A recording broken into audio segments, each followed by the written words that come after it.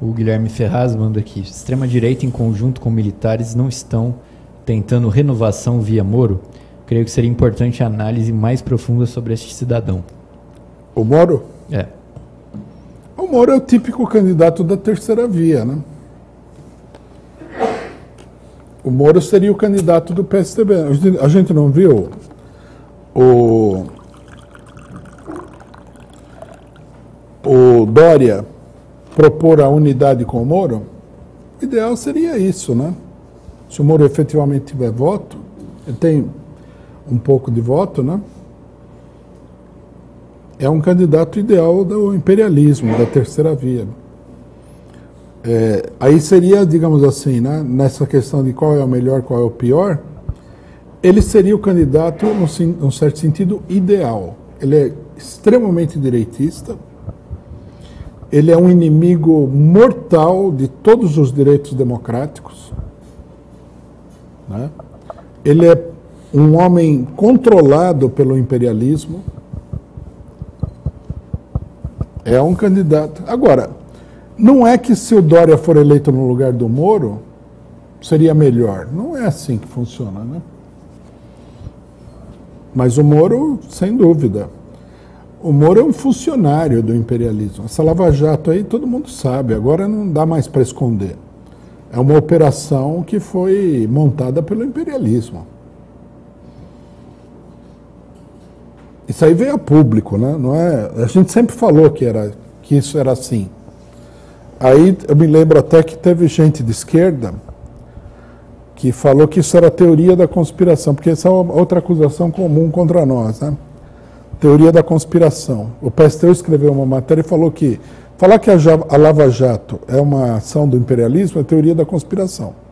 De fato, é uma teoria conspiratória, mas a conspiração era real, né? Aí, aí a coisa foi piorando. Aí o cara do, F, do FBI foi lá e falou que eles tinham ajudado o Moro, né?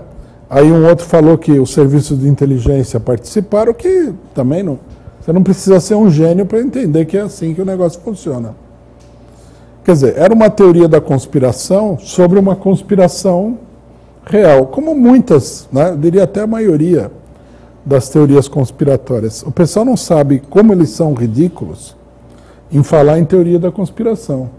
A maior parte dos seres humanos não tem uma ideia microscópica de quanta conspiração existe no mundo. Está cheio de teoria da conspiração. Tanto que o, o negócio é tão conspirativo que se popularizou né, a, a expressão bandeira falsa. Quer dizer, tiveram que tornar popular que quando tem essas crises, um cidadão se veste de uniforme do outro país, vai lá e faz um atentado para dizer que foi o outro e tal. Quer dizer, conspiração sobra, né? O que é ridículo não é você ter uma teoria conspiratória. O que é ridículo é acreditar na Rede Globo, acreditar na Folha. Isso é quase que uma, um processo de lobotomia, né? Eu li a matéria da Folha sobre a Venezuela, não, não conseguia acreditar que eles tinham escrito isso. 9 mil pessoas. Só agora que viu. O Maduro mandou matar nove. E ele fala assim: a maioria das pessoas são negras e pardas. Matou mais do que a PM brasileira aí. É pior. Eles, a, eles reclamam que a polícia disse que teve confronto. Foi todo mundo morto em confronto. Eles pegaram toda a lista de mortos pela polícia e falaram que o Maduro mandou matar. Não, precisa ver se tem 9 mil mortos, né? Ou se esses 9 mil mortos em quanto tempo também? É bastante gente. Eu acho uma barbaridade uma pessoa publicar uma matéria dessa. Aí cita a Bachelet, né?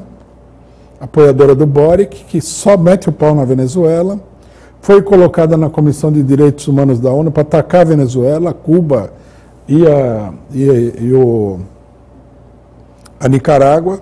A Bachelet é um é, que, que a gente poderia dizer? Um office boy né, do, do imperialismo norte-americano. E ela apoia o Boric. Daí você fala, não, o Boric, ó. Não, mas vocês estão tirando conclusões e tal. Só porque o cara tá super é, irmanado aí com os, as pessoas mais capacho do imperialismo que tem no mundo.